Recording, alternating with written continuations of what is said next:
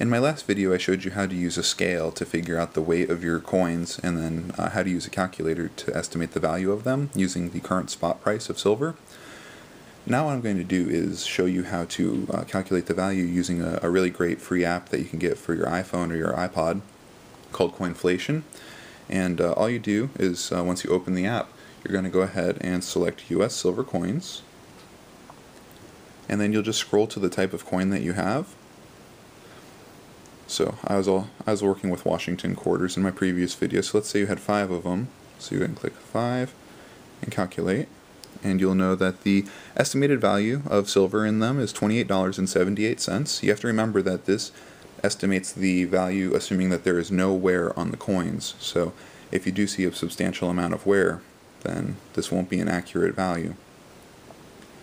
Um, being that we've been doing this in the context of sil silver dollars, we'll go ahead and scroll to silver dollars.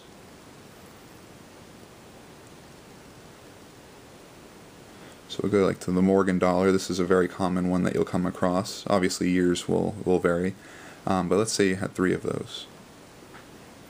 Just click calculate. And we've got $73.86 worth of Morgan silver dollars. It's a very simple way to calculate the price of the silver that you've got.